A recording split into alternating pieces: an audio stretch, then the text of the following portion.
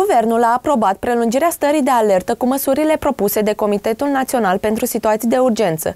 Astfel, s-a decis ca circulația în afara locuinței să fie interzisă în intervalul orar 22.05, iar cazarea în pensiunile și hotelurile de la munte să fie limitată la 70% din capacitate. Măsurile se aplică de duminică 14 martie.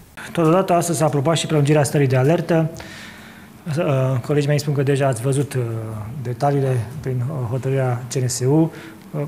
Există o modificare importantă, aceea referitor la circulația pe timpul nopții. Se apare, reduce de la ora 23 la ora 22. Deci introduce această restricție. Măsurile rămân cam aceleași. Acelea, aceasta este, din punctul meu de vedere, cea mai importantă măsură. Primul rând am uitat la ce fac celelalte țări. Și una dintre primele măsuri pe care au toate țările o iau este aceea de a reduce uh, timpul de circulație pe uh, durata nopții. Uh, este o măsură care a funcționat. Bineînțeles, România, dacă vă uitați și am pregătit un sumar al acestei măsuri, să vedeți cum arată în alte țări, uh, România uh, este printre cele mai permisive. Uh, sunt țări dezvoltate unde după ora 6 nu se mai poate circula, după ora 6 seara. Deci, este o direcție pe care am văzut că, sau este o măsură care a fost folosită uh, în alte țări și are succes și în România. În momentul când am implementat-o, a avut succes. Um, vom vedea cum va evolua. Eu zic că diferența față de data trecută când am introdus această măsură o fac uh, dozele de vaccin. Am început o campanie de vaccinare, repet, o campanie de vaccinare de succes. Uh, în martie vom vaccina aproape 1, 1 milion de, de români.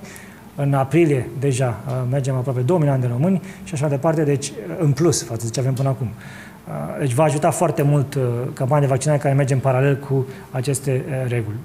Am spus din momentul în care s-au relaxat puțin condițiile în iarnă, că depinde doar de noi să rămână acele condiții.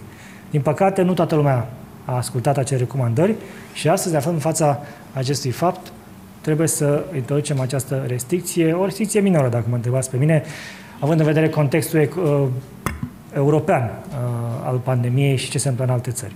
Gradul de ocupare a spațiilor de cazare dispuse în localitățile unde se schiază sau se practică sporturi de iarnă se limitează la 70% din capacitatea maximă a acestora. Această măsură face referire la mai multe localități din țară, printre care și municipiul Vatra Dornei.